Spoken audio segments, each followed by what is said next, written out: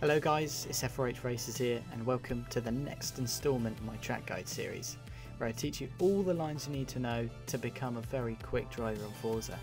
Today we're at Sonoma, a track which favours a balanced car such as my C-Class Porsche 911 Turbo. It has been upgraded and tuned so that it can grip on all the off-camber corners here and still have enough power so that it makes up time on the straights. Let's go for a hot lap and I'll talk you through what you see.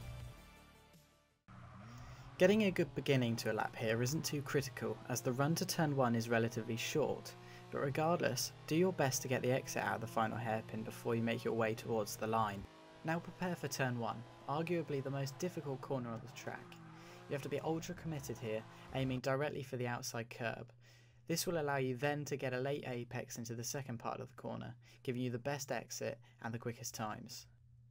Notice the way that I don't do the bulk of my braking until I actually get onto this curb, as I want to keep the car as straight as possible when I actually brake, and this prevents locking up.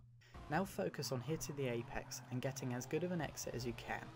For the next two corners, get out as wide as you can for the entrance, and aim to get two wheels on each of the inside curbs. Don't brake too much either, as the hill helps the car slow down naturally. On exit, be very careful as the outside curb can sneak up on you, sucking you out onto the grass. The next right hander will come up immediately and is deceptively tight. Don't overestimate how much speed you can carry through here, and aim to hit the inside curb and this will set you up for a good exit. Now keep to your racing line as we prepare for one of the longest left hand corners on the game. Make sure as wide as possible on entry and aim to get a late apex. Be very careful as the camber will cause the car to feel very light, so throttle control is required. As soon as you feel the car is able to, floor the throttle for the exit. You can judge how good your exit is according to how well your car hits the outside curb. If you go over it, you got on the throttle too early. If you fall short, you got on the power too late. Keep this in mind when you're practicing this tricky corner. Now, for the next corner I see many different lines from people online. We have the ultra wide line where they try to get an insane exit, and we also have the ultra tight line where they try to minimise the distance travelled in order to get the quicker times.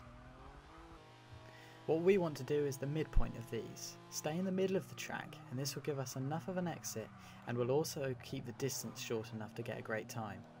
If you hit the inside curb on exit you know you've done a great line and you'll be able to get good exit. The next very fast corners require confidence and commitment, as it is very easy to go wide here. Only a dab of the brakes is needed in most cars, and you'll have to practice until you can nail the correct turn-in point consistently. Take this well, and there is a surprising amount of time to be gained. Now for this chicane, brake hard and try your absolute best to hit the first apex, as this will set you up nicely for a good exit, which is critical for the run down to the final corner. Also, resist the temptation to cut it all together, as that's just what noobs online do. You don't get much of a break before the final hairpin. Brake hard and again try to hit the inside apex as you'll be able to get on the throttle earlier. Be aware that the car is often really slidey out of here. Now just keep it flat out as you head across the line and that concludes a very quick hot lap of Sonoma. Thank you everyone for watching this video.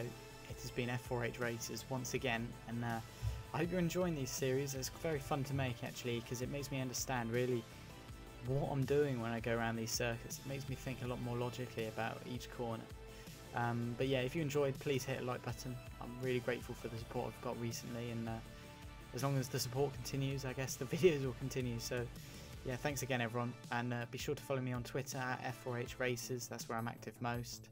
And uh, yeah, I'll see you next time. Thank you.